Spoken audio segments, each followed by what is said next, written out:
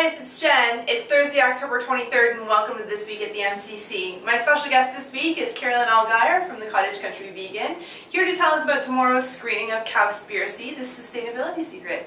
Welcome, Carolyn. Thanks Thank for you. being here. Thank you for having me.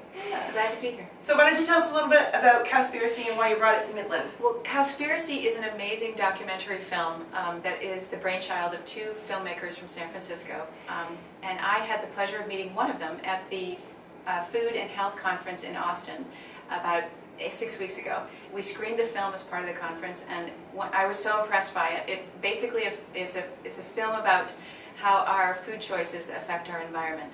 And I was so taken with it, I asked Kip if it's not going to come to, to towns the size of Midland, it's going to larger places. And I said, I lived in a town that had immense um, environmental consciousness, and I would so love to bring it here, and would you let me?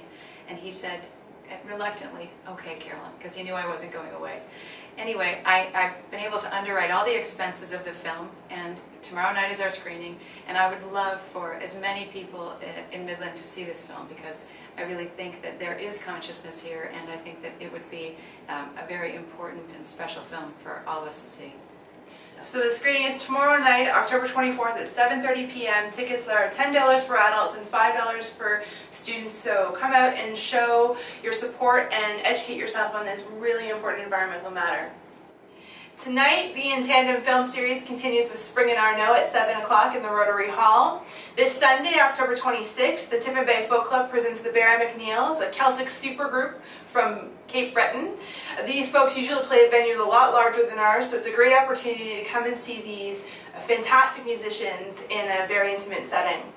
Also, you'll want to check out the International Fe- Festival of Authors at the Midland Public Library next Wednesday, October 29th at 7 p.m. Tickets are available at the library.